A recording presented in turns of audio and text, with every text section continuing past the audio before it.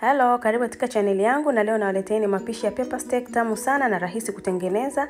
Kama ni mgeni kwenye chaneli yangu, tafadhali nakuomba sana usubscribe ili usipitwe na video zangu za kila wiki.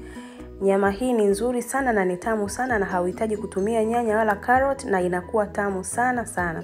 Utaanza kwa kuandaa mahitaji yetu kama hivyo mnavyoona. Utakata nyama yako kwa saizi ya marefu kama hivyo, na pia tutakata mboga mboga zetu na utakata vipande ambavyo ni vikubwa, yaani bite size na utakuwa unaviweka pembeni.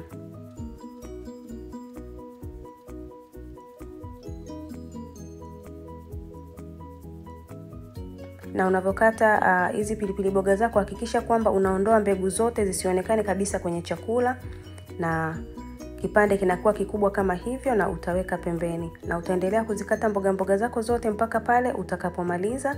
Na resipi hii ni muhimu sana kukata mboga mboga zako kabla hujaanza upishi wa jikoni, kwa sababu hatutataka tuunguze. Na nyama hii wakati wa kuipika ni rahisi sana kushika chini kwenye sufuria. Kwa hiyo kama utakuwa ushakata mboga mboga zako, ina maana utakuwa unaweka umakini wote kwenye kupika na mboga mboga zako tayari zitakuwa zimeshakatwa. Kwa hiyo utakuwa hamna ulazima ile unaangalia chakula kinaiva huku unakata mboga mboga. Baada ya kuzikata hapo, nimetumia pilipili boga nyekundu moja, nimetumia kitunguu maji kiku, kimoja kikubwa kama hivyo, na nimekata size kubwa kama inavyoonekana hapo, na pia nimetumia pilipili hoho ya rangi ya kijani, uh, tangawizi kipande kimoja, pamoja na kitunguu thomu punje, punje tatu. Utaanza sasa kwa kumarinate nyama yetu, na utaweka vijiko kimoja na nusu cha soy sauce, vijiko viwili vya hasali pamoja na cornstarch kijiko kimoja utaweka pia pilipili manga ki, nusu, nusu kijiko cha chai pamoja na hiyo cornstarch pamoja na kijiko kimoja kikubwa cha chakula cha mafuta, na utatumia kidonge chochote cha supu ambacho unapenda, na mimi nitumia fleva ya kuku, na utachanganya vizuri mpaka uone mchanganyiko wako tayari umechanganyika vizuri. Na hapa tumeweka asali kwa sababu asali inasaidia sana kufanya nyama kuwa laini na pia kuweza kubalance ladha ya nyama. Baada ya kuchanganyika vizuri, utafunika vizuri na utaweka kwenye friji kwa masaa matatu kabla ya kupika.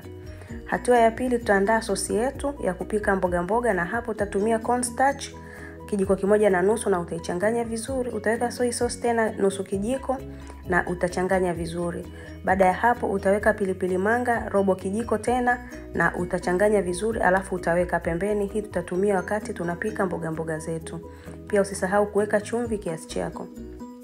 Kwenye sufuria lako la nafasi uh, weka mafuta na yakipata moto, weka nyama yako ambayo tayari ilishapumzika kwa masaa matatu kwenye fridge ama popote, yani angalau basi uipumzishe tu popote uh, hata kama sio kwenye fridge kwa hayo masaa matatu, na utaipika kwa takriban kama dakika mbili hivi kabla ya kuigeuza na baada ya hapo utageuza kuhakikisha kwamba haishiki chini. Utaendelea kuipika nyama yako kwa takribani dakika kama sita hivi mpaka saba kuhakikisha kwamba nyama yako imeiva vizuri na imekuwa laini, na utakapoona uh, majimaji yamepungua kama hivyo, ina maana nyama yako sasa ipo tayari. Utaitoa na utaiweka pembeni. Baada ya hapo tutapika mboga mboga zetu, na utaweka tena uh, sufuria yako jikoni ama kikaango chako jikoni. Utaweka kitunguu thomu pamoja na tangawizi ulizokatakata na utapika kwa dakika moja tu. Baada ya hapo utaweka vitunguu vyako ambavyo umevikata na pilipili boga zako na utapika kwa takriban kama dakika moja, na utaweka chumvi kiasi kwa kuonja na utachanganya vizuri. Na kwenye kupika mboga mboga zangu mimi hapa nimetumia kama dakika mbili tu hivi, na baada ya hapo utaweka sosi yako ile tuliyotengeneza kwa kutumia cornstarch, um, tumetumia soy sauce pamoja na pilipili manga na chumvi, na ukishaona vimekaa kwa dakika mbili hivi utaweka nyama yako na utaichanganya vizuri.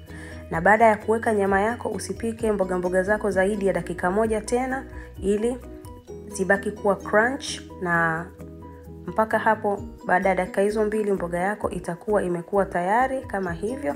Unaweza pia ukaweka mbegu za ufuta kama mimi nilivyoweka, yani sesame seeds, lakini kama hauna haina shida, na pia hii ni optional kabisa, sio lazima kuweka. Mpaka hapo mboga yako itakuwa imekuwa tayari kama hivyo. Yaani pishi hili ni tamu sana, unaweza ukaenjoy na wali ama kitu chochote unachokipenda. Asanteni sana kwa kuangalia video zangu, tukutane tena kwenye video zinazofuata. Bye.